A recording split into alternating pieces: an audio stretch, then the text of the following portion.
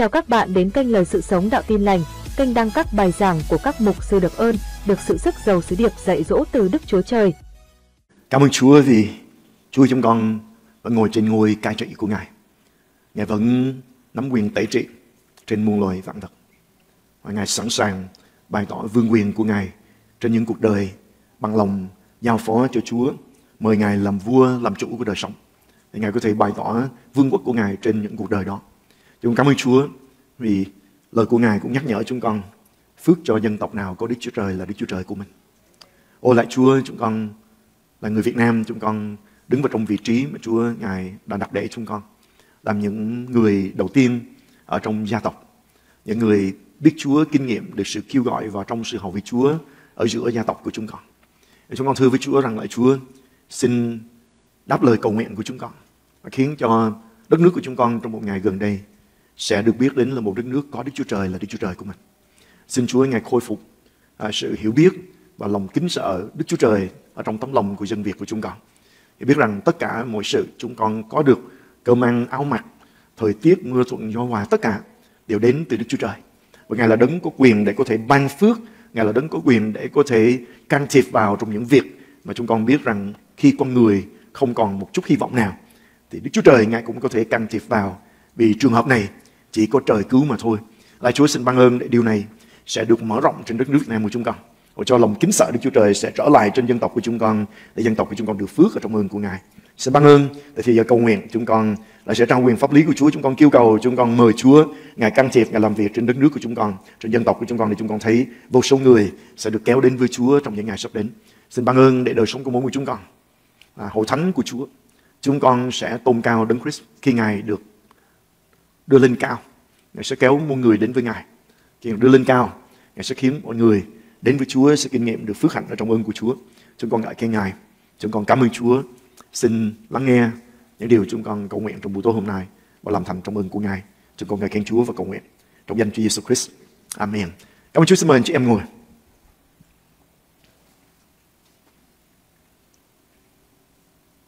Buổi tối hôm nay chúng ta sẽ học một thi bài ngắn về hiểu biết sức mạnh của sự cầu nguyện.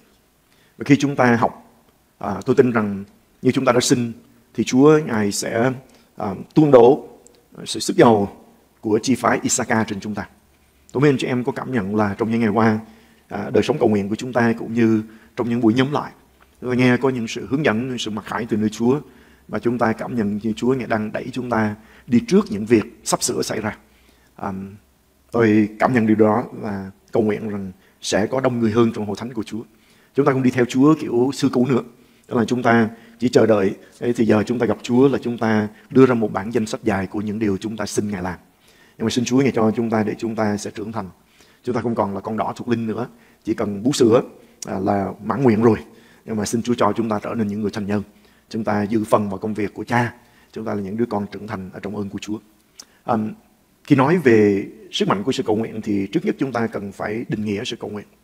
À, khi tôi tiếp xúc với những định nghĩa này, nó thay đổi cái sự cầu nguyện của tôi.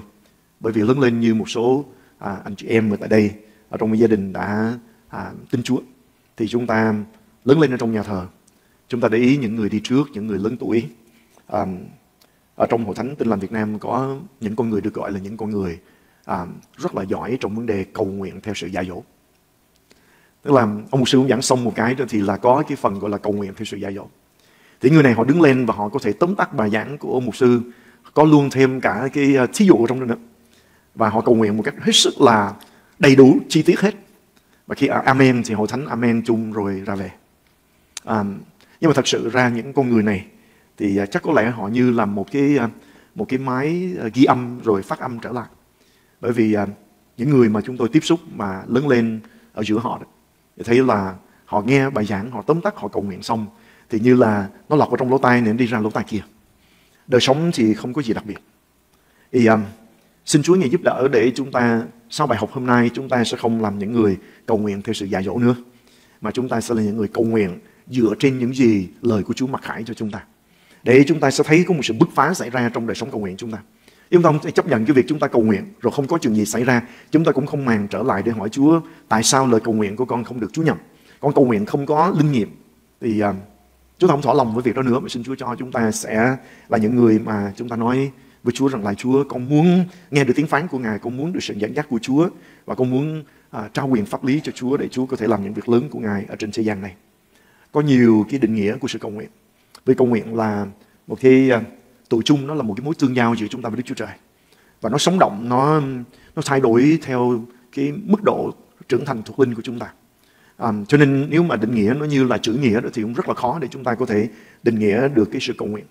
à, như tôi thường nói với anh chị em, à, khi tôi ở trong đội bóng đá và khi chúng tôi tập việc được, tôi có thể đá một cái trái banh vào trong vách tường và tôi đoán biết nó sẽ dội ra cái hướng nào để tôi có thể đón chặn nó hoặc là điều khiển cái chân của mình để mình đá cái trái banh trong cái tường và nó dội ra, trở lại đúng cái chỗ mình mình không nhúc nhích gì chỗ khác, mà mình có thể liên tục đá cái trái banh vào trong cái tường vì mình đoán biết được cái trái banh nó nó dội, nó nhồi như thế nào.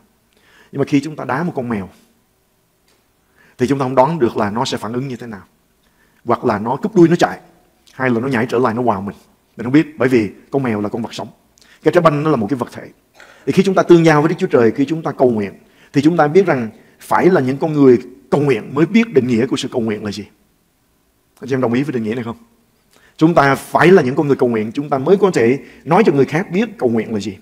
Andrew Murray là một trong những thần học gia của um, của hệ phái CMA. Ông đã định nghĩa như thế này. Trong trường cầu nguyện với Đức Christ, ông nói, quyền lực của thế giới đời đời được đặt vào quyền tùy ý sử dụng của sự cầu nguyện. Chúng ta để ý đến cái sức mạnh và cái sức nặng của cái trách nhiệm mà chúng ta khi hiểu được chúng ta sẽ thấy quyền lực của thế giới đời đời được đặt vào quyền tùy ý sử dụng của sự cầu nguyện. Đó là điều cốt lõi của niềm tin tôn giáo thật, là ống dẫn của mọi phước hạnh, là bí quyết của quyền năng và của đời sống thiên liêng. Đó là việc làm cao cả nhất và thánh khiết nhất mà con người có thể đạt được. Cầu nguyện là thông công với đấng vô hình và là đấng thánh khiết nhất. Ở đây ý ông muốn nói rằng tất cả quyền năng của thiên đàng được Chúa Ngài gói ở trong cái sự cầu nguyện và đáp lời cầu nguyện. Một người khác định nghĩa cầu nguyện, cái sức mạnh của sự cầu nguyện tương đương với sức mạnh và quyền năng của Đức Chúa Trời. Bởi khi chúng ta cầu nguyện, Đức Chúa Trời Ngài hành động. Và khi Ngài hành động thì Ngài có thể vận dụng quyền năng mà Ngài có để đáp lời cầu nguyện của chúng ta. Cho nên sức mạnh của sự cầu nguyện rất là lớn. Khi chúng ta hiểu được điều này sẽ giúp cho chúng ta à, sẽ tha thiết cầu nguyện hơn. Và Murray đã kết luận như thế này. Lời hứa của Đức Chúa Trời chờ đợi sự cầu nguyện để được thi hành. Chúng ta nhớ tất cả những lời hứa của Đức Chúa Trời trong Đức Chúa Giêsu Christ là phải và amen. Nó đã ở trong Đức Chúa Giêsu Christ rồi. Và bây giờ công việc của chúng ta, cái người cầu nguyện đó, là chúng ta cầu nguyện để những điều đó trở nên hiện thực. Như vậy định nghĩa lời hứa của Đức Chúa Trời chờ đợi sự cầu nguyện để được thi hành. Nhờ sự cầu nguyện, nước trời sẽ mau đến và vinh hiển Đức Chúa Trời sẽ được sôi rạng hoàn toàn. Quyền năng của Chúa, lời hứa của Ngài thật là lớn. Ngài muốn cứu tất cả mọi người. Nhưng nếu chúng ta không cầu nguyện cho gia đình của mình, cho gia tộc của mình, thì họ không tự động được cứu. Điều này sẽ giúp cho chúng ta xác nhận càng hơn nữa. Tôi rất là vui trong lòng khi nghe một số anh em khi nói chuyện, khi làm chứng lại, thì ngôn ngữ đã thay đổi. Không còn là mình là người duy nhất ở trong gia đình tin Chúa. Mình là người đầu tiên. Bởi vì chúng ta có một lòng tin rằng tất cả những cái lời hứa của Đức Chúa Trời chờ đợi cái lời cầu nguyện của chúng ta để nó được thi hành. Lời hứa của Chúa, Đức Giêsu Christ ngày chịu chết trên thập tự giá để cứu chuộc cả nhân loại. Lời hứa đó chỉ có thể kết quả ở trên những con người biết để lấy đức tin và đón nhận. Nhưng mà họ sẽ không biết để kêu cầu trừ trường hợp cái người đầu tiên làm cái kết nối trong sự cầu nguyện và nói cho họ biết về Chúa để họ có thể kêu cầu danh của Ngài. Cho nên khi chúng ta là người đầu tiên ở trong gia tộc tin Chúa, chúng ta nhìn lại chúng ta thấy rằng thật thế giới tối tâm sẽ à, đánh và bắn phá đời sống của chúng ta với cái sức mạnh lớn nhất nó có thể làm được. Bởi vì nó rất sợ những con người này tăng trưởng mạnh mẽ ở trong Chúa và nhận biết được cái sức mạnh và trọng trách mà Chúa ngày giao cho mình cho cả cái gia tộc của mình rồi cho cả cái dân tộc của mình. Thì lúc bây giờ nước của sự tối tâm sẽ gặp không đốn là bởi vì những con người này sẽ kêu cầu trao quyền pháp lý cho Đức Chúa Trời và Ngài sẽ làm việc ở trên đất này. Cho rất là quan trọng chúng ta thấy được cái sức mạnh của sự cầu nguyện là Đức Chúa Trời Ngài đang chờ đợi chúng ta. John Wesley có một câu nói khác và khi tôi nghe điều này à, lần đầu tiên vào năm 1995 thì tôi thấy có một sự thay đổi lớn ở trong sự cầu nguyện. Ông nói như thế này, không có sự cầu nguyện Đức Chúa Trời sẽ không làm bất cứ điều gì. Nhưng Ngài làm mọi sự là để nhờ sự cầu nguyện và đáp lời cầu nguyện. Tôi thì dịch cái câu này khác hơn. Đó là Đức Chúa Trời không can thiệp và làm bất cứ một việc gì trên trần gian này trừ trường hợp đáp lời cầu nguyện. Và chúng ta thấy điều đó. Suốt cả trong Kinh Thánh, Chúa cho chúng ta thấy hình ảnh này. Khi Đức Chúa Trời ngài dựng nên Adam và Eva, tức là Adam, thì Chúa ngài ban cho thẩm quyền để cai trị ở trên đất này khi ngài bày tỏ ý định của ngài trong việc dựng nên loài người chúng ta. Chúng ta hãy làm nên loài người theo hình ta và theo tượng ta để họ cai trị ở trên đất này. Để họ phần của Đức Chúa Trời ngài dựng nên chúng ta ngài ban cho chúng ta thẩm quyền để chúng ta có thể cai trị trên đất này. Nhưng khi loài người chúng ta phạm tội thì cái quyền thẩm quyền đó đã trao vào trong tay của Satan. Chúng ta nhớ ở trong Luca khi Satan đến cám dỗ Đức Chúa Giêsu thì nó nói như thế này hết thảy đã được giao trong tay của ta. Hãy cúi xuống thờ lại ta đi. Ta sẽ cho người tất cả. Đức Chúa Giêsu không chỉnh nó. Bởi vì Chúa Giêsu biết cái thất bại của Adam đã giao cho Satan cái quyền à, chủ quyền ở trên đất này. Đức Chúa Trời Ngài là đấng thánh khiết, những lời Ngài nói nó trở nên luật pháp cho chúng ta. Thì Ngài không vi phạm lời của Ngài được.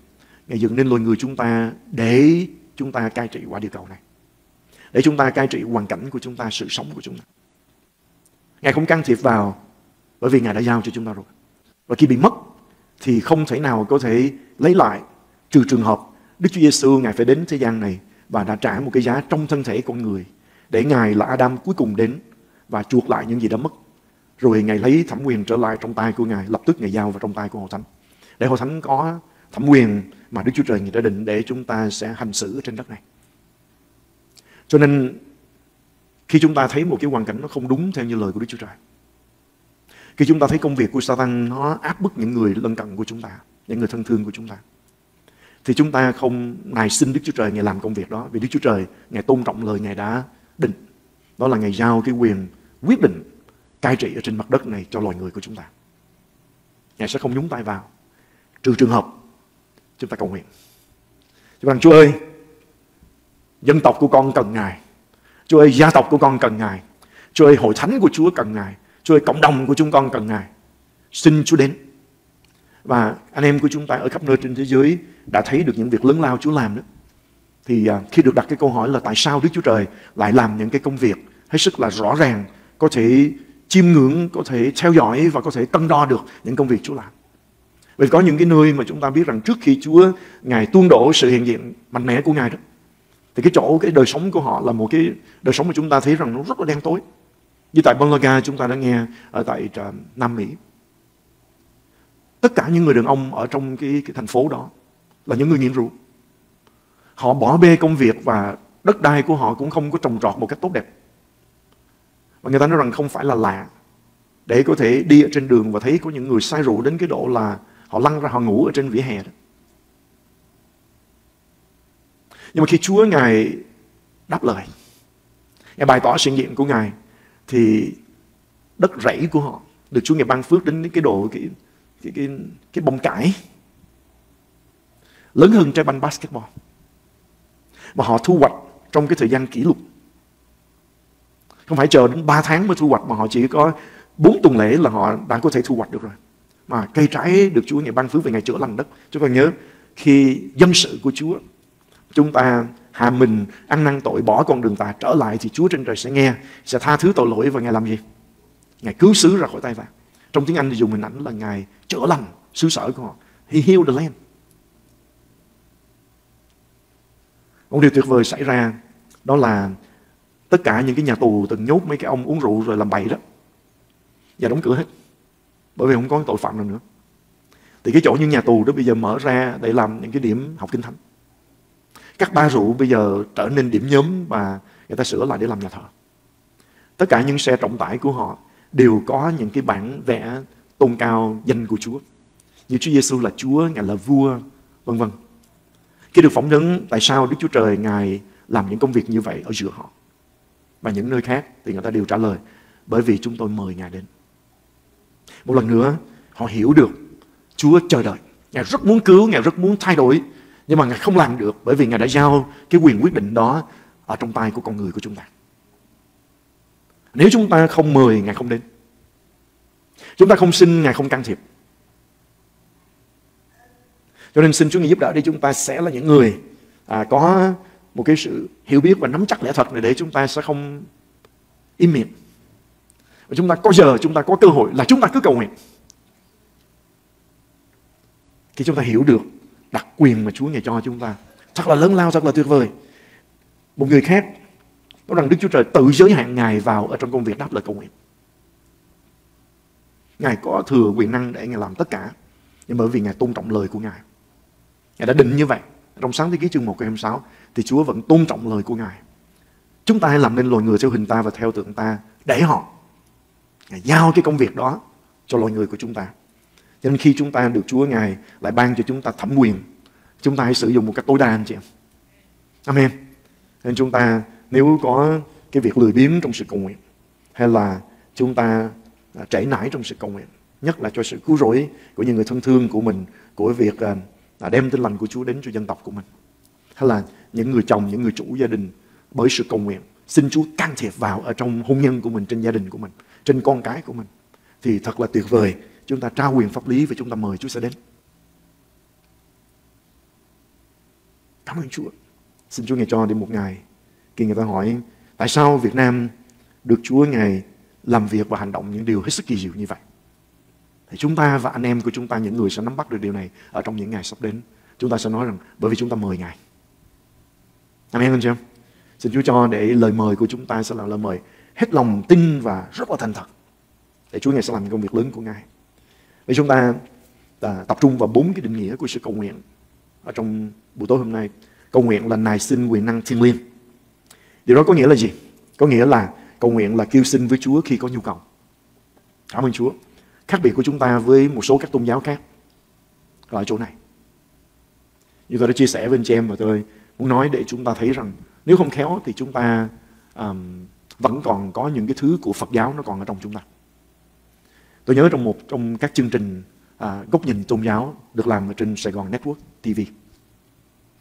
Thì à, cái đề tài của ngày hôm đó để bốn tôn giáo gọi là lớn của Việt Nam của chúng ta có cơ hội để chia sẻ cái góc nhìn của mình.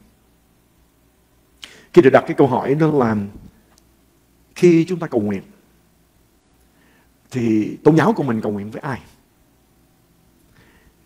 Thì ông tu sĩ của Phật giáo và ông tu sĩ của Phật giáo Hòa Hảo, Họ đều trả lời giống nhau. Chúng tôi cầu nguyện với chính mình. Thì nếu mà chúng tôi, cái nhân duyên và cái đức của chúng tôi mà có đủ đó, thì những điều chúng tôi cầu xin nó sẽ được ban cho hay là nó sẽ được thành. Cho nên, suốt cuộc đời của họ là làm công việc là tích lũy công đức và làm sao để mình đạt được một cái mức độ đó là khi mình có nhu cầu thì những cái điều đó nó nó sẽ chụp sẵn để khi mình kêu nó thì nó sẽ xuất hiện. khi tôi uh, ngồi nói chuyện vì uh, mình làm cái chương trình live cho nên uh, những người lãnh đạo chúng tôi ngồi có thảo luận trước. Thì tôi ngạc nhiên lắm khi tôi nghe cái điều này tôi nói ô như vậy thì bế tắc dữ cái năng đề nó lớn mình không thể làm được mình mới cầu nguyện mà mình lại đi cầu nguyện với chính mình.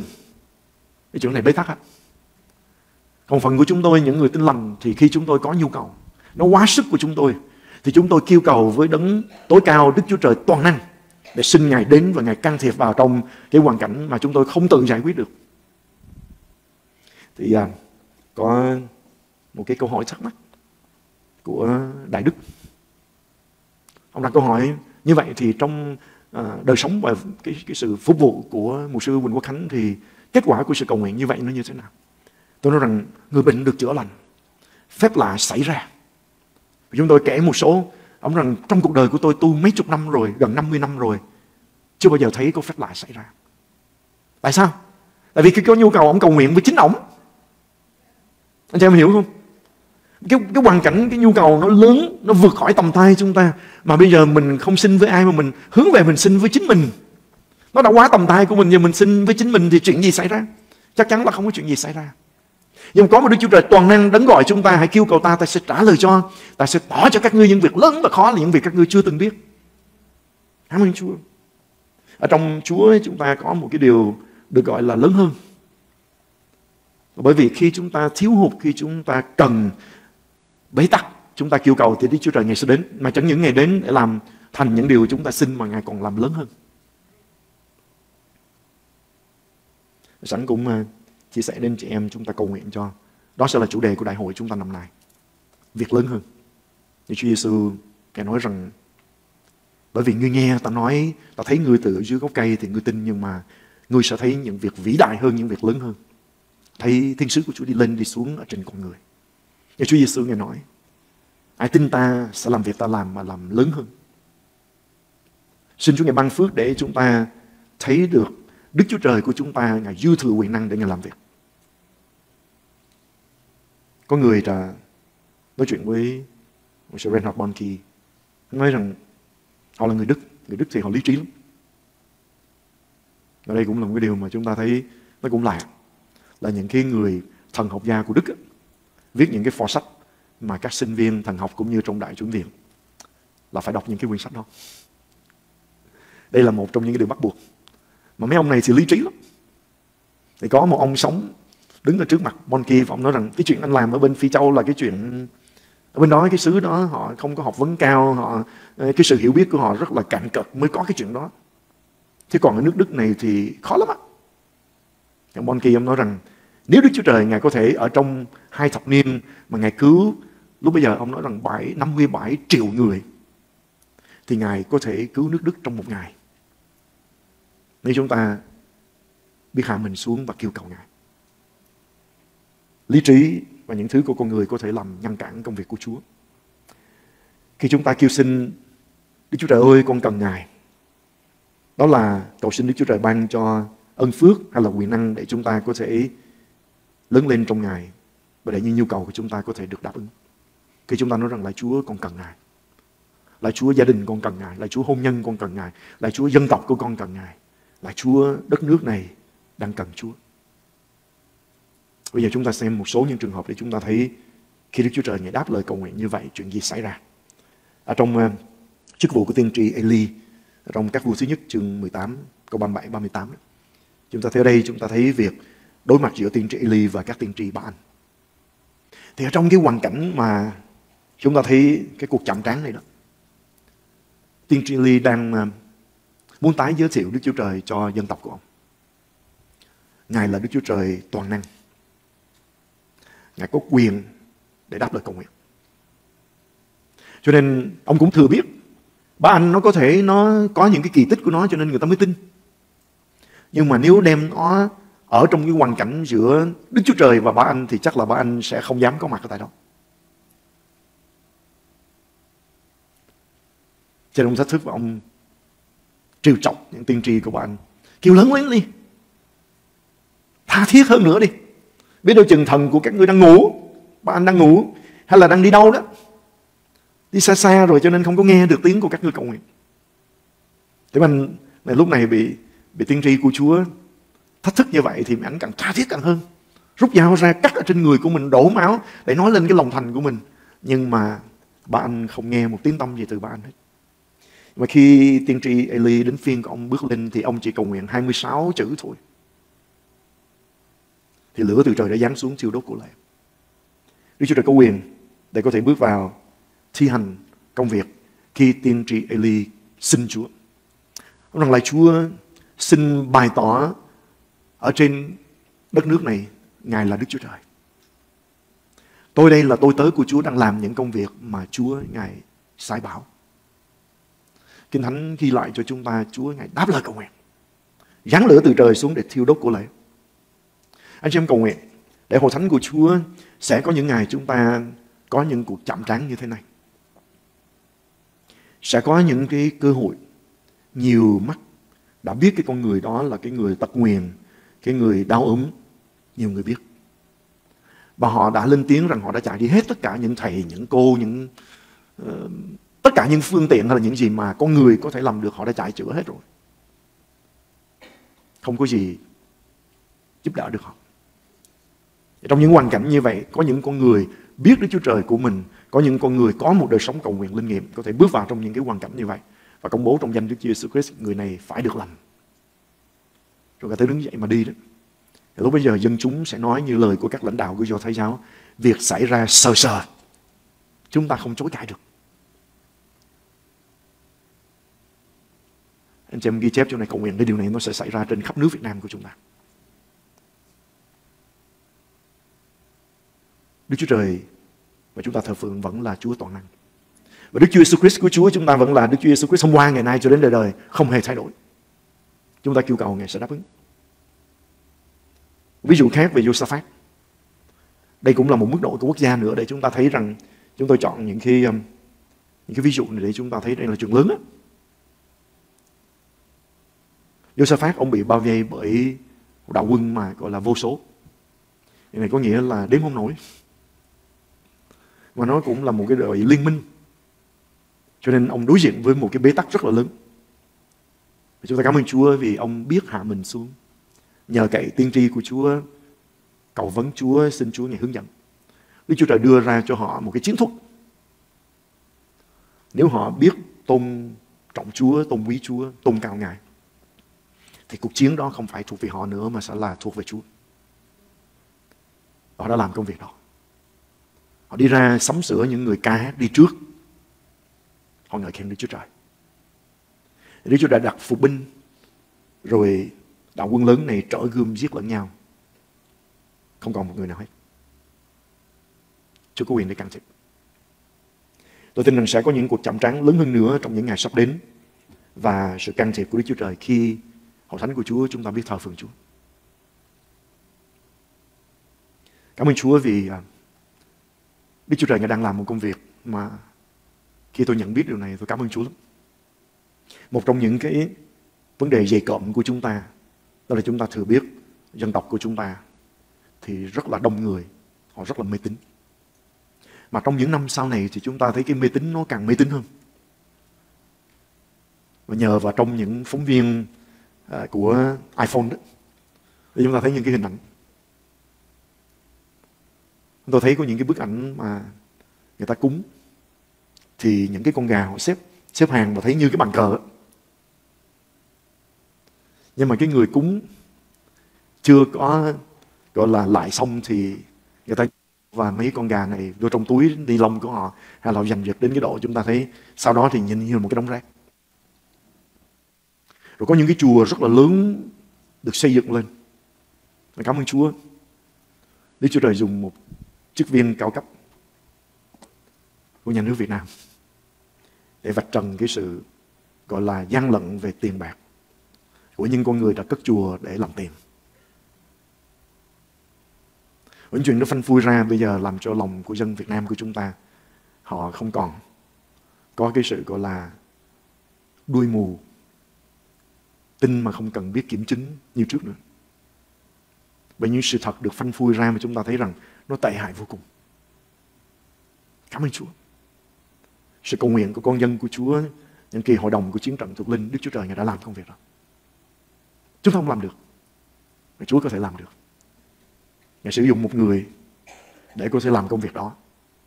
Như tôi nói các lần trước, cái việc tham nhũng là cái việc mà ai cũng lắc đầu nói đến cái chuyện này thì nó là nhiều đời rồi. Nó nhiều cái thứ nó chằng chịch trong đó rồi. Thì không thể nào có thể giải quyết được. Và cảm ơn Chúa khi Đức Chúa Trời Ngài đáp lời cầu nguyện. Thì chúng ta thấy có thể có phục binh. Có thể có những con người mà Đức Chúa Trời Ngài sử dụng một cách rất là lạ lùng như chúng ta đang thấy hiện tại ở Việt Nam của chúng ta. Cảm ơn Chúa. Tôi tin đó là sự đáp lời của Đức Chúa Trời. Chúng ta tiếp tục cầu nguyện. Để như Josaphat, chúng ta ca ngợi Chúa, Ngài là đấng công chính. Ngài vẫn là Đức Chúa Trời cầm quyền tẩy trị ở trên thế giới này. Cán cân công lý của Ngài không có con người nào có thể bẻ công nó nổi. Và Ngài là đứng xét xử một cách công bằng. Chúng ta cầu nguyện Chúa Ngài sẽ tiếp tục làm công việc đó. Như trong những loạt bài giảng sau này tôi khuyến khích anh chị em chúng ta thắng những điều này ở trong chúng ta để Đức Chúa Trời Ngài có thể tự do hành động. Bởi vì hội thánh của Chúa được Chúa Ngài dọn dẹp một cách sạch sẽ, chúng ta thắng những cuộc chiến ở trong chúng ta. Chúng ta không thể nào thắng được cái việc của tranh ảnh lọ thể, của pornography nếu trong hội thánh còn những cái việc như vậy. Thì chúng ta xin Đức Chúa Trời Ngài tiêu diệt điều này ở trong trong xã hội thì chúng ta thấy rằng Chúa hỏi như vậy khi ta thẳng tay trừng trị thì trong đó có những người trong con cái của ta. Cho nên cái sự ngăn trở làm cho Chúa Ngài chưa có thể làm việc được đó. Chúa Ngài đang chờ đợi hội thánh của Chúa như tinh thần của sự ký thứ nhì 7 14 nhược bằng dân sự ta. Khi thấy sứ của tai vạ và đủ mọi thứ thì cái giải pháp của Chúa Ngài nhắc nhở qua lời cầu nguyện của Salomon đó, nhược bằng dân sự ta. Nó bắt đầu từ nhà của Chúa, bắt đầu từ nội bộ. Và khi chúng ta giải quyết xong mà chúng ta thắng được nội bộ, Đức Chúa Trời Ngài sẽ làm những chuyện bên ngoài. Bởi vì sự phán xét bắt đầu từ nhà của Đức Sê Va trước. Cảm ơn Chúa. Tại Việt Nam thì chúng ta cũng thấy việc đó. Có nhiều cái cái việc đã bày tỏ ra. Mà chúng ta thấy hàng lãnh đạo gặp rất là nhiều cái sự khó khăn bị dính vào trong những cái thứ mà chúng ta thấy rằng nó trói chức vụ của họ. Mà cảm ơn Chúa khi giải quyết, khi ăn năn, khi trở lại với Chúa, khi tìm lại cái nét sắc bén của chức vụ của mình. Thì Đức Chúa Trời Ngài làm ra bên ngoài. Trong đây là thời điểm mà tôi tin rằng chính mùi để Việt Nam của chúng ta sẽ được cứu. Và như định nghĩa của sự bứt phá chúng tôi đã từng định nghĩa với anh chị em. Khi chúng ta thấy một cái trái pháo hay là một cái lực tống vào trong cái vết tường để đi xuyên qua vết tường đó, đem lại cái breakthrough, đem lại cái bứt phá đó, thì phía bên kia chúng ta thấy, ban đầu đó, thì chúng ta thấy gạch đá nó bùi, nó bay ra bởi vì cái sức tống đó. Ban đầu chúng ta thấy dường như là nó hỗn độn, nhưng mà rồi khi mọi việc nó đã lắng xuống, chúng ta thấy một lỗ hổng rất lớn đã xuyên phá ở trên cái vết tường đó. Chúa Ngài đang làm công việc của Ngài. Chúng ta hãy tiếp tục trao quyền pháp lý của Chúa và nài xin Đức Chúa Trời. Ngài làm lớn hơn nữa trong ơn của Ngài Ví dụ thứ ba về Samuel Chúng ta thấy được gọi là cầu thai.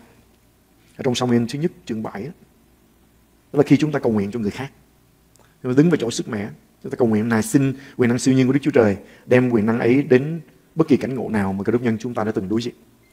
Chúa có quyền để can thiệp. Và chúng ta có thể đứng vào trong vị trí để chúng ta cầu thai. Như tôi nhắc anh chị em, nếu trong giấc ngủ hay là trong lúc chúng ta rửa chén, trong lúc chúng ta làm việc, chúng ta không nghĩ gì về cái người đó hay là cái công việc đó hay là cái chức vụ đó. Mà Chúa ngày cho chúng ta điều đó nó đến ở trong tâm trí của chúng ta. Đừng xua đuổi nó đi mà hãy đón nhận như là một cái ngồi nổ mà Chúa ngày muốn giao cho chúng ta để chúng ta bước vào trong sự cầu thai. Chuyện xảy ra mới nhất. Tôi cảm ơn Chúa là tôi nhạy bén lắng nghe lời của Chúa.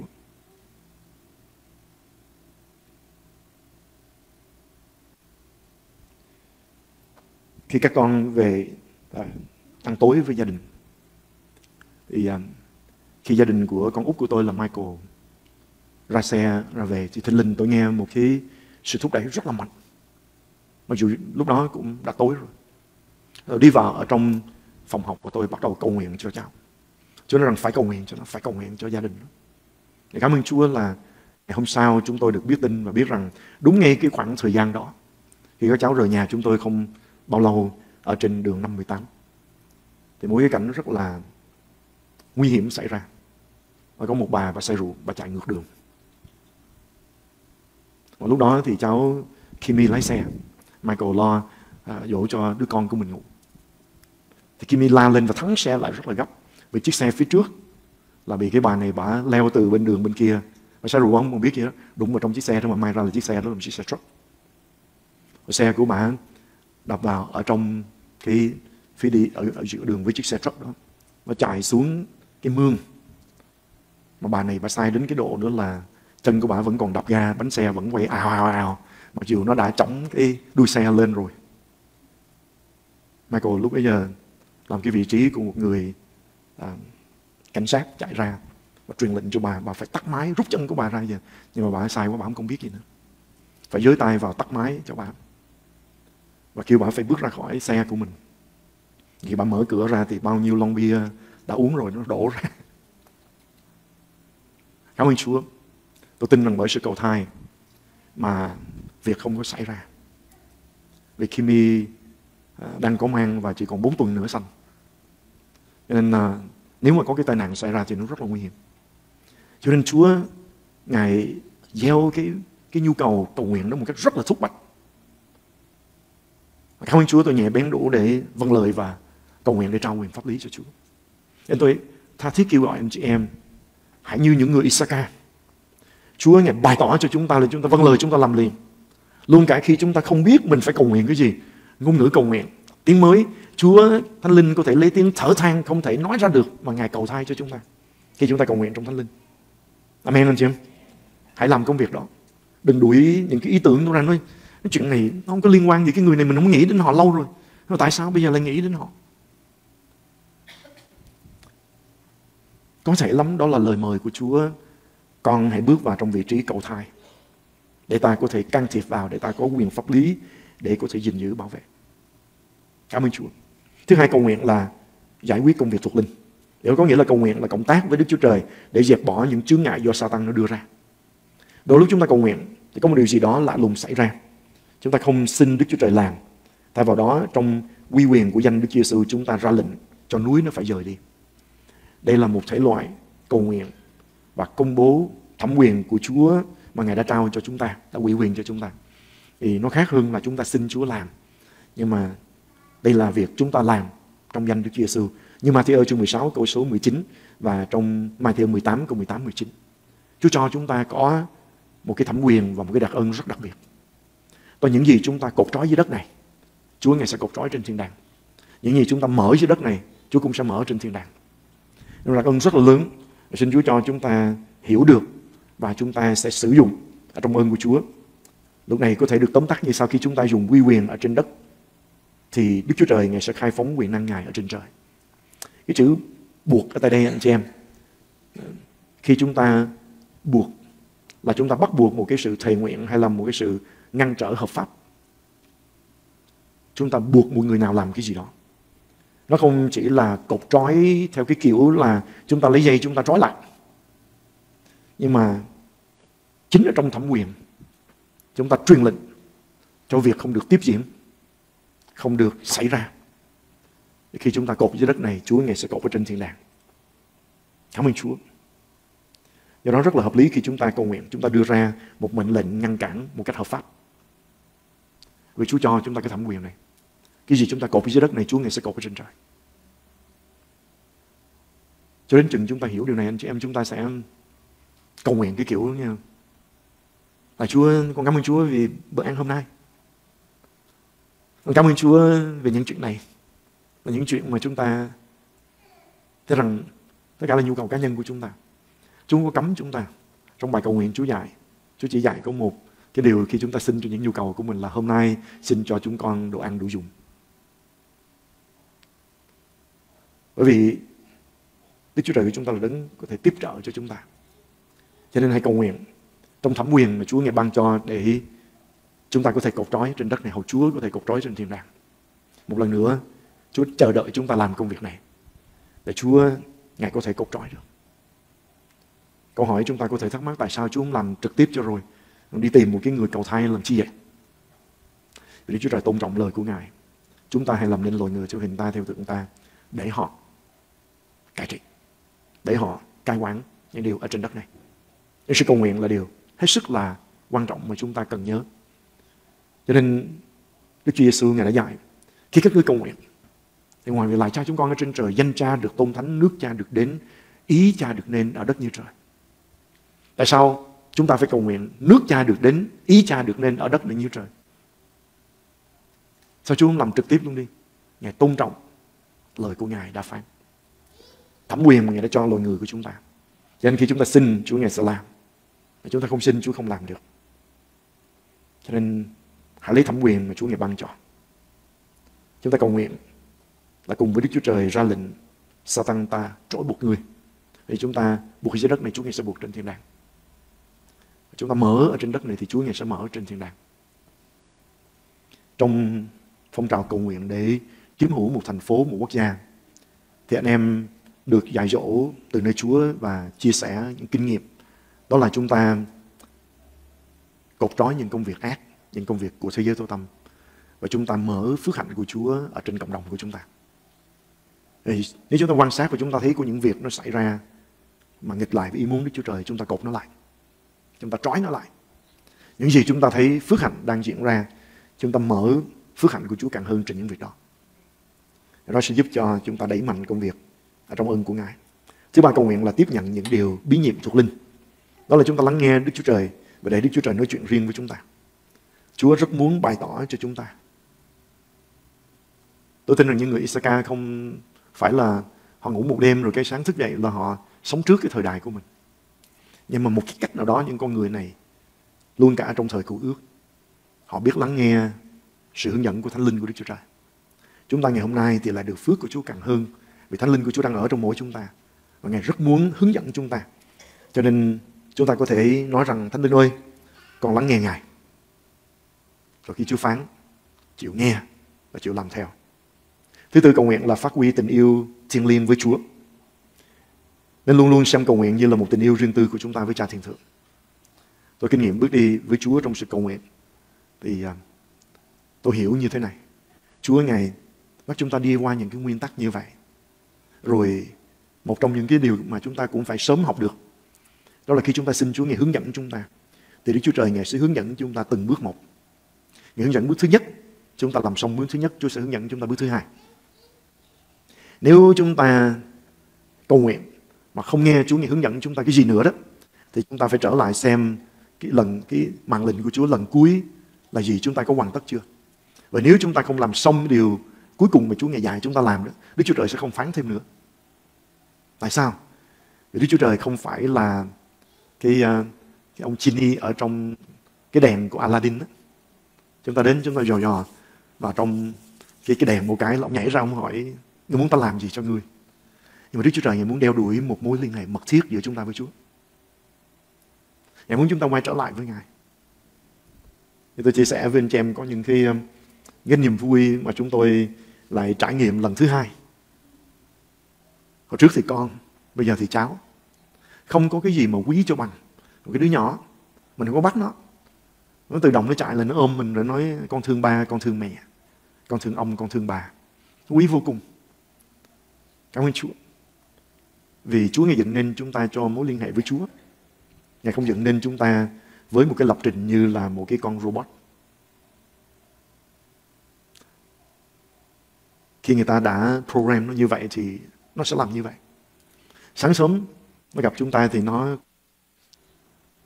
rồi hỏi của chúng ta có muốn uống cà phê không? Nó đi, nó chăm cà phê cho mình. Nhưng mà tất cả, chúng ta biết là bởi vì mình mua nó về và người ta đã làm một cái lập trình đó cho nó rồi. Chúng ta không thấy quý. Bây giờ một đứa con, như nãy tôi nói là con mèo chúng ta đá, chúng ta không biết phản ứng như thế nào đó. Cái quý ở cái chỗ đó là bởi cái lòng của chúng ta yêu Chúa đủ để chúng ta đến gần với Chúa trong sự cầu nguyện. Đúng, Chúa Ngài đáp lời cầu nguyện chúng ta khi chúng ta có năng đề chúng ta kêu cầu Ngài. Nhưng Chúa càng muốn hơn nữa, đó là chúng ta đến gần với Chúa. Để chúng, ta, chúng ta có một mối liên hệ mật thiết với Chúa. Và phần thưởng là như thế này, ở trong Daniel chương 11 câu 32 dân sự biết Đức Chúa Trời của mình sẽ mạnh mẽ và làm những công việc lớn lao. Cảm ơn Chúa. Càng biết Chúa chừng nào chúng ta càng dám làm chuyện lớn chừng đó. Tại vì chúng ta biết Chúa thì chúng ta sẽ được Chúa nghe xác nhận bằng nhiều cách khác nhau chúng ta rằng Chúa chúng ta là đấng toàn năng, là Chúa toàn năng. Thì khi chúng ta càng biết Chúa rõ chừng nào thì chúng ta kinh nghiệm Chúa thì lúc bây giờ không có việc gì mà chúng ta sợ không dám làm hết.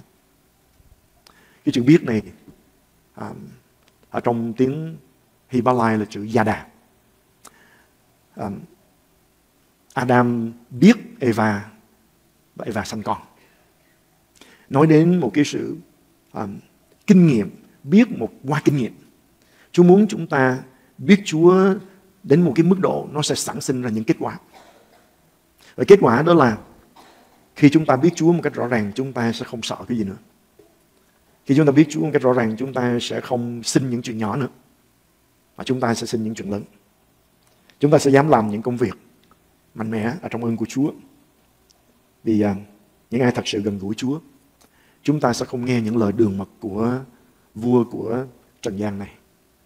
Đây là một lời tiên tri rất nhiều năm về trước và chúng ta thấy cái thời gian cần đài của chúng ta. Có những người lãnh đạo, họ nói những cái lời nghe rất hay, rất là xuôi tai. Nhưng mà đó là những lời nói dối. Nó không đúng sự thật. Trong những ngày qua chúng ta theo dõi tin tức chúng ta thấy được đó. Có những chuyện mà chúng ta là những người sống ở tiểu bang Texas này gần ranh giới, chúng ta biết nó rõ lắm. Nhưng mà họ cứ lên báo chí và nói một việc ổn, một việc tốt đẹp, không có gì sai trật, không có gì khó khăn hết. Không có gì gọi là khủng hoảng hết. Và chúng ta là những người biết Chúa thì chúng ta sẽ có sự khôn ngoan để chúng ta phân biệt và chúng ta có thể làm những công việc lớn mà Chúa ngài giao cho chúng ta. Càng biết Chúa rõ, càng kinh nghiệm Chúa như nào, chúng ta càng dám làm những công việc lớn chừng đó. nhưng khi có người phỏng vấn tôi và hỏi gì sư, làm sao để hội thánh của Chúa tới đây chúng ta dám có cái ước mơ là chúng ta sẽ có một cái nhà thờ lên đến một ngàn chỗ ngồi. Và việc đó là từ năm 1990 đó anh chị em. Khi chúng ta có được cái cơ sở và khuôn viên này. Chúng tôi thường đứng ở tại cái góc. Chúng ta nhớ cái hành lang của chúng ta bây giờ là ở kế bên cạnh cái hội trường của chúng ta đó. Thì ngày xưa nó là cái góc để chúng ta có thể nhìn ra. Thì cái khu, khu đất này là một cái bãi cỏ để người ta chơi baseball.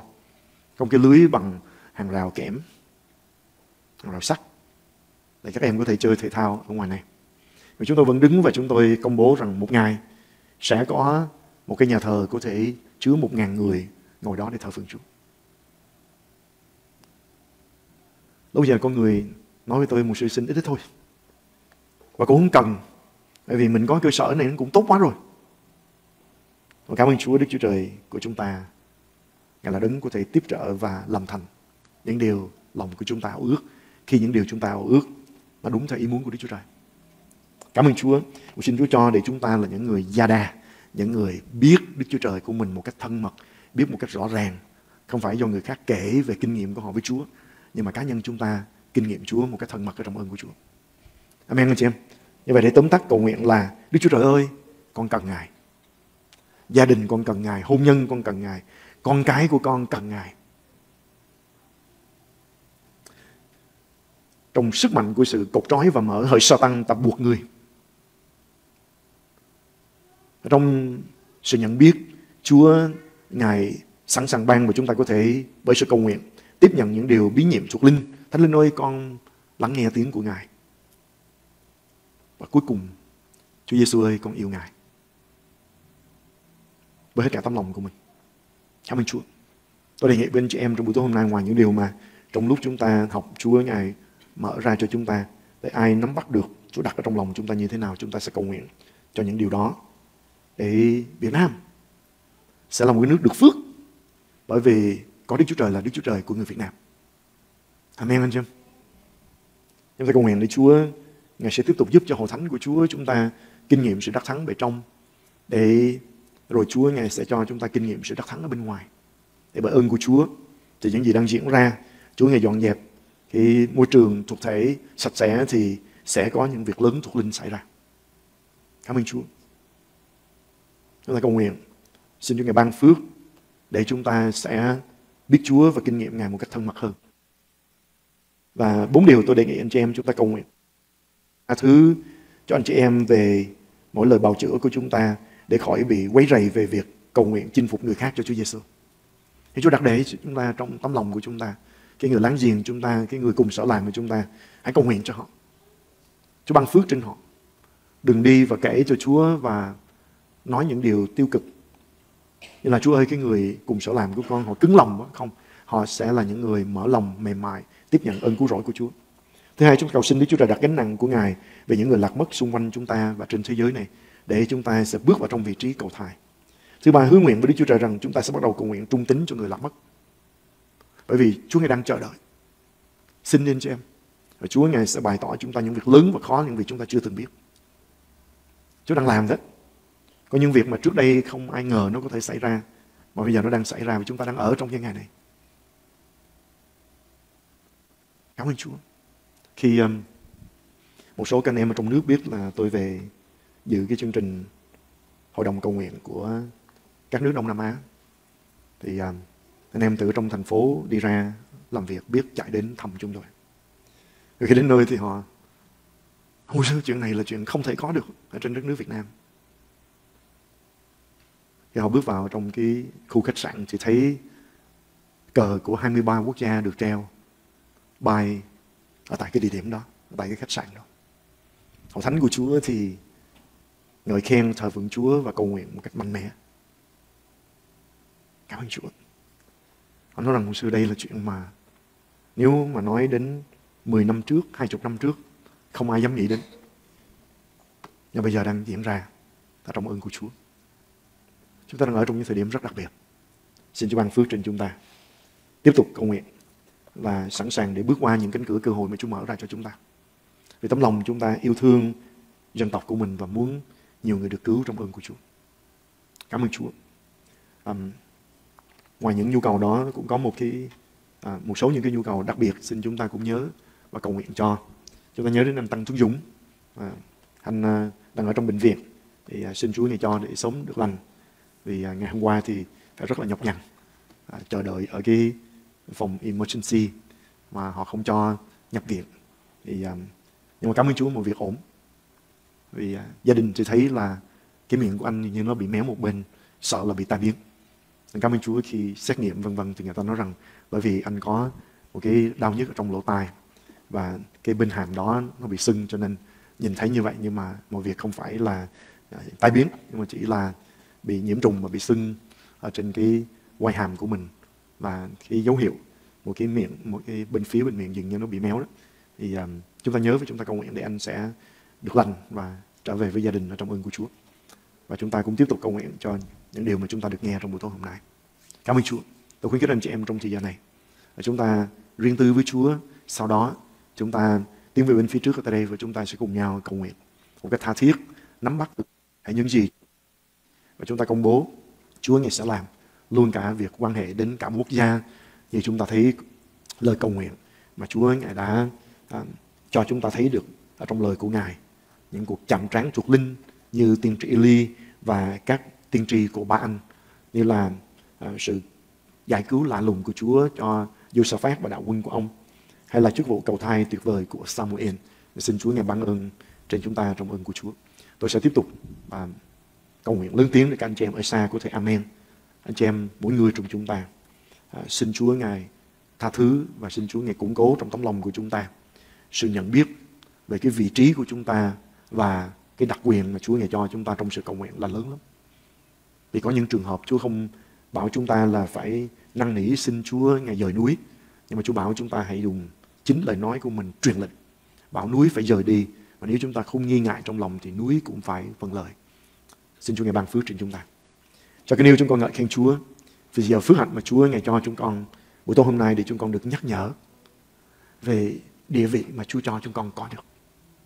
Theo ý định ban đầu của Chúa, Ngài dựng nên loài người chúng con. Ngài ban phước trên và Ngài nói rằng hãy sanh sản thêm nhiều và làm chỗ đầy dãy đất. Và Chúa Ngài muốn chúng con cứ phát triển ra. Chúng con ngợi khen Ngài. Nhưng cảm ơn Chúa vì Ngài đã có ý định khi Ngài giao thẩm quyền cho những con người đầu tiên là tổ phụ của chúng con là Adam. Khi Ngài tuyên bố kế hoạch của Ngài, chương trình của Ngài, khi Ngài dựng nên loài người chúng con, chúng ta hãy làm nên loài người theo hình ta và theo tượng ta. Đặng quản trị loài cá biển, loài chim trời. Ô lại Chúa chúng con cảm ơn Chúa vì đặc quyền mà Chúa nghe cho chúng con. Để chúng con sẽ sử dụng, để chúng con kêu cầu Chúa đáp ứng những điều mà chúng con thấy rằng chúng con không chấp nhận. Những điều trái nghịch lại với ý muốn của Đức Chúa Trời. Trái nghịch lại với những giá trị của Kinh Thánh. Lại Chúa xin Chúa Ngài ban phước để chúng con không chỉ ngồi lầm bầm than phiền nhưng chúng con sẽ sử dụng đặc ân mà Chúa Ngài ban cho ở trong ơn của Ngài. Cảm ơn Chúa. Đức Chúa Trời phán chúng ta hãy tạo nên loài người theo hình ảnh của chúng ta và giống như chúng ta để quản trị loài cá biển, loài chim trời, loài gia súc và khắp cả đất cùng mọi loài bò sát trên mặt đất. Chúng con ngợi khen Chúa vì điều này Chúa Giêsu đã phục hồi lại cho chúng con là hậu thánh của Ngài. Và chúng con đón nhận và xin Chúa Ngài thêm sức ban ơn và giúp đỡ Chúa giáo để chúng con sẽ tận dụng một cách tối đa ở trong sự cầu thai, ở trong cầu nguyện chiến trận để chúng con cột trói những điều mà nghịch lại với ý muốn của Đức Chúa Trời. Và chúng con có thể mở những điều thuộc về vương quốc của Đức Chúa Trời. Chúng con có thể kêu xin sự can thiệp của Chúa. Hoặc Chúa có thể đáp lời cầu nguyện của chúng con và những việc lớn sẽ thể hiện ở trong ơn của Ngài. Cho dấu chúng con kêu xin Chúa. Lạy Chúa, dân tộc Việt Nam của chúng con cần Ngài. Ô lạy Chúa xin giúp đỡ và đem lại một sự phục hồi lòng kính sợ Đức Chúa Trời ở trong tấm lòng của dân Việt của chúng con. Tấm lòng nhận biết ăn cơm trời, uống nước trời, chết đi chầu trời. Lúc lâm nguy kêu trời. Lạy Chúa xin giúp đỡ để chúng con thấy điều đó sẽ trở lại ở trên dân tộc của chúng con. Chúng con cầu nguyện xin Chúa Ngài can thiệp vào để những gì đã bị dạy sai cũng như những cái thái độ nổi loạn sẽ được giải quyết ở trong ơn của Ngài. Chúng con nhân danh Chúa và chúng con cột trói những cái thái độ chống nghịch Đức Chúa Trời. Là chúng con mở ra những tấm lòng phước hạnh, những tấm lòng biết nhờ cậy Đức Chúa Trời, những tấm lòng biết kêu xin sự giúp đỡ từ nơi Ngài. Và Chúa xin đến Chúa động để can thiệp vào, để ban phước, và để chúng con thấy trong những ngày sắp đến nhiều người sẽ trở lại cùng Chúa. Chúa ơi, xin bởi lời cầu nguyện của chúng con, Và Chúa dừng cơn thạnh nộ của Ngài, không ngoảnh mặt đối với nhiều người nữa. Nhưng Chúa Ngài sẽ trở lại bởi lời cầu xin của chúng con. Vì Chúa Ngài không định cho ai chết mất nhưng muốn mọi người có cơ hội để ăn năn và được cứu. Nên chúng con cầu nguyện xin Chúa Ngài thương xót, xin Chúa Ngài làm việc và kéo vô số người cùng một lúc đến với Ngài trong những ngày sắp đến. Ôi lại Chúa xin hành động. Tại một ngày thì điều mà Chúa Ngài đã cho ghi lại trong lời của Ngài. Phước cho dân tộc nào có Đức Chúa Trời là Đức Chúa Trời của mình. Chúng con cầu xin điều đó sẽ xảy ra. Và một ngày dân Việt của chúng con sẽ được biết là một dân tộc được phước bởi vì có Đức Chúa Trời là Đức Chúa Trời của chúng con. Cảm ơn Chúa những việc Ngài đang làm. Vì Ngài đang hành động, Ngài đang làm việc ở trên tấm lòng của những người lãnh đạo. Chúa Ngài ban phước ở trên họ có sự khôn ngoan soi sáng từ nơi Chúa ban cho. Để họ sẽ làm chấp sự của Đức Chúa Trời. Họ sẽ làm theo những điều Ngài hướng dẫn. Chúng con thấy đất nước của chúng con lại chuẩn bị sẵn sàng càng hơn cho sự thăm viếng lớn lao của Chúa. Chúng con bố việc lớn hơn sẽ xảy ra ở trong những ngày sắp đến ở trên đất nước của chúng con. Chúng con ngợi khen Ngài. Cho dấu xin Ngài ban ơn. Để bởi quyền năng của Chúa, tinh lành của Ngài sẽ được giảng ra khắp ở trên đất nước Việt Nam của chúng con. À, các nơi nào tinh lành của Chúa chưa được đến, Chúa tiếp tục mở những cánh cửa Chúa dọc. Để chúng con thấy rằng sẽ có những cơ hội để chúng con được Chúa Ngài sử dụng đời sống của chúng con như sự đáp lời của Ngài. Để chúng con sẽ thấy tinh lành của Chúa được rao giảng ra. Chúa tiếp tục dấy lên ban phước cho những anh chị em từ các sắc tộc đã tin Chúa rồi. Chúa Ngài cho họ được mạnh mẽ trong Chúa trưởng thành ở trong Ngài, và cũng sẽ đón nhận gánh nặng về sự cứu chuộc của những người ở trong sắc tộc của mình. Rồi chúng con thấy trong những ngày sắp đến, sẽ không có một nơi nào là chưa được nghe đến tin lành cứu rỗi của Chúa. Chúng con tiếp tục cầu nguyện. Chúa ơi, xin Chúa Ngài đóng đầy những cái bình và chúng con thưa với Chúa rằng chúng con sẽ thực hiện những công việc Chúa Ngài sai bảo chúng con. Chúng con ngợi khen Chúa. Xin hành động Chúa giáo và ban phước để bởi ơn của Ngài. Chúng con sẽ thấy nhiều con người cầu thai được Chúa Ngài sức giàu, Ngài kêu gọi một cách lớn lao trong những ngày sắp đến Chúa dòng. Để chúng con thấy nhiều người sẵn sàng để trao quyền pháp lý của Chúa ở trên đất Việt của chúng con, ở tại hải ngoại, tại các nơi có người Việt Nam chúng con ở trên 48 quốc gia, và có người Việt Nam của chúng con đang ở luôn cả ở tại Trung Đông, luôn cả ở tại Do Thái. Lại Chúa xin ban phước để chúng con thấy hết thảy đều sẽ được Chúa Ngài hành động, Ngài làm việc. Và chúng con thấy nhiều người sẽ được cứu nhiều hơn nữa bởi những con người đã biết Chúa có thể cầu thai cho gia tộc của mình, cho gia đình của mình để nhiều người sẽ được cứu, được chuyển vào vương quốc của Chúa, vương quốc sáng láng của Ngài trong những ngày sắp đến. Chúng con cảm ơn Ngài. Xin tha thứ cho chúng con trong những ngày chúng con chén mãn, chúng con à, không vâng lời, không nhạy bén trong sự hướng dẫn của Chúa. Xin Chúa Ngài giúp đỡ để chúng con kể từ ngày hôm nay thật nhạy bén khi Chúa đặt để những nhu cầu khi Chúa Ngài cho chúng con thấy những bản tin khi Chúa Ngài cho chúng con đọc những bản tin chúng con sẽ lập tức nhận nó như là những cái lời kêu gọi của Chúa để chúng con sẽ cầu thay cho lĩnh vực đó, để chúng con sẽ cột trói những việc của việc ác chúng con có thể mở ra phước hạnh của Ngài và truyền lệnh cho những phước hạnh phải xảy ra, thì chúng con sẽ thấy nhiều điều lớn lao sẽ xảy ra trong những ngày sắp đến ở trong ơn của Ngài. Chúng con cột trói sự thiếu hụt ở trong việc rao giảng tin lành của Chúa của người Việt Nam của chúng con. Và chúng con mở phước hạnh của Ngài ra và chúng con thưa chúng con lai Chúa, xin đông đầy, xin đổ xuống một cách lớn lao ở trong những ngày sắp đến, Chúa giáo, tài chánh khiến cho con nhân của Chúa khắp nơi trên đất Việt Nam của chúng con cũng sẽ được Chúa ngày ban phước về tài chánh. Và họ sẽ có tấm lòng dân hiến cho công việc, tài trợ cho việc giảng tin lành của Chúa. Thì chúng con thấy phước hạnh của Chúa đã đổ ra thì cũng sẽ được càng lớn hơn nữa trong ơn của Ngài. Vì ban cho có phước họ nhận lãnh. Thì chúng con xin Chúa ngày cho để hậu thánh của Chúa ở tại Việt Nam sẽ đầy những con người bằng lòng dám dân hiến để Chúa ngài có thể tìm thấy những ống dẫn để Chúa ngài có thể cứ mở rộng và đông đầy tái đổ đầy để họ có thể là tiếp tục ban cho ở trong ơn của Chúa chúng con ngợi khen Ngài. Đức Chúa Trời ơi, chúng con cần Ngài. Đức Chúa Trời ơi, dân tộc Việt Nam chúng con cần Ngài. Ôi lại Chúa xin ban ơn.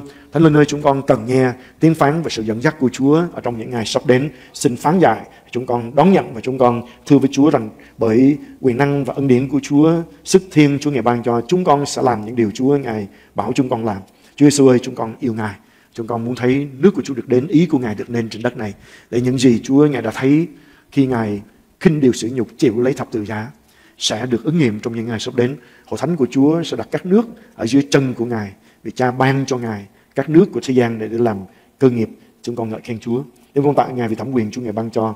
Hỏi sao tăng ta cột trói người, công việc của người cho người Việt Nam sẽ không còn được tự do hoạt động nữa. Trong danh Đức Chúa Jesus Christ, công việc của Đức Chúa Trời và nước của Đức Chúa Trời sẽ được đến và ý của Ngài sẽ được nên cho dân tộc Việt Nam ở trong ơn của Chúa, trong quyền năng của Ngài. Cảm ơn Chúa. Cho dấu nghe và đáp lời cầu nguyện của anh chị em của chúng con trong buổi tối hôm nay trong ơn quyền của Ngài. Chúng con ngợi khen Chúa. Chúng con chúc tụng Ngài.